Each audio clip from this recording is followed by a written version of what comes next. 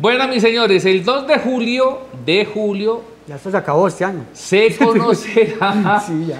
el fallo ya, el último fallo, eh, la sentencia por parte de la Procura- Procuraduría General de la Nación a favor o en contra del renunciado alcalde de la ciudad de Medellín, Daniel Quintero. gran amigo que Hoy habló Daniel Quintero desde Washington. Sí, ya. Y dijo que ya esperaba que si lo condenaban, este país se estaba convirtiendo como Venezuela, en una dictadura, y que se iba a quedar allá esperando a ver, en caso de que lo inhabilitaran para participar como candidato a la presidencia en el año 2026, de él ir a hacer el requerimiento pertinente ante todas las IAS internacionales. A esos Que las comisiones interamericanas de derechos humanos. y- Daniel Quintero Calle. ¿Qué es lo que pretende hoy la Procuraduría?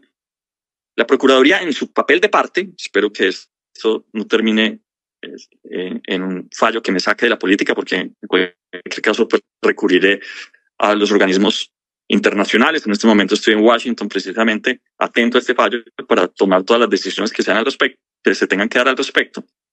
Pero entonces la, la Procuraduría General de la República, órgano administrativo y no penal, eh, quiere sacar a uno de los candidatos a la presidencia por estas tres razones. La primera, por un video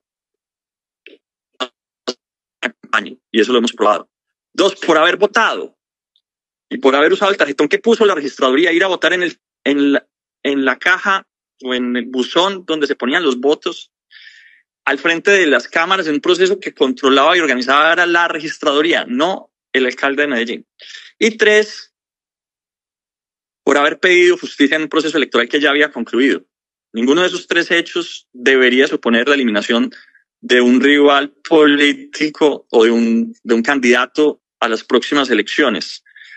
Eh, le pido por eso a los señores funcionarios, al señor procurador, que antes de emitir el fallo, considere los hechos de forma objetiva y entonces tome una decisión eh, que le dé tranquilidad a la democracia colombiana, que es realmente la que se pone en riesgo. Si se permite que la Procuraduría saque un candidato a la de la presidencia, a la presidencia de la República, no nos estamos separando mucho de lo que pasa hoy en Venezuela. Así como juzgamos con contundencia y hemos reclamado con contundencia que haya elecciones libres en todos los lugares donde se supone de democracia, pues pedimos lo mismo que ocurra en Colombia. Muchas gracias.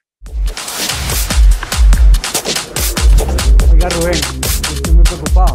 Con Daniel. Porque es que Daniel Quintero Daniel. cree que si a él lo sancionan y lo inhabilitan, Colapsa el Estado Social de Derecho. no, colapsan las elecciones del 2026 porque se van a perder tremendo candidato. No lo sancionen. Que él solito aquí, cuando venga a aspirar a la presidencia, se va a dar cuenta que la sanción va a ser una sanción social. No van a votar por él.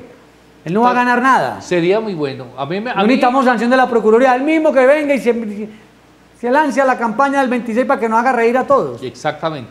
Yo creo que sería una gran oportunidad porque si lo inhabilitan, él diría, eh, estaría dispuesto inclusive a decir que sí él. Claro, que se sin victimiza. Él, que sin él la campaña es una cosa muy distinta. Mire, hoy estábamos hablando con un alcalde del área metropolitana, un joven que hizo una campaña disruptiva, que le ganó a todas las maquinarias históricas en Copacabana, es el alcalde de Copacabana, un joven de 29 años. Y es la gran novedad política, Rubén. ¿Y qué se le digo, a ese, a ese al- qué se le digo al alcalde? Ojo que muchas veces la vanidad del triunfo por haber ganado sin las maquinarias puede ser un mal consejero como le sucedió a Daniel Quintero Calle, que se llenó, se le subió ese ego y dijo yo soy el cambio, soy la renovación y se gastó todos los caramelos en, en estos cuatro años. Acabó Por con lo todo menos su- el- con la oportunidad que le dio la vida. De sí. tener una carrera tener una política a largo carrera plazo. larga, Sí, Claro. sí, él acabó con eso y ya ese activo. miraremos a ver con quién, quién hace alianzas con él cuando se lance. No sé con quién, pero aunque él es fácil de, él, él- él- él es que fácil de cambiar de, de- Él ha sido conservador, ha sido liberal, de todo. Sido de todo. Usted está esperando que él venga a aspirar para que le maneje la campaña, porque, para, o que lo desbloquee del- de la cuenta de X. ¿Quién es el que lo tiene bloqueado? Él y la esposa.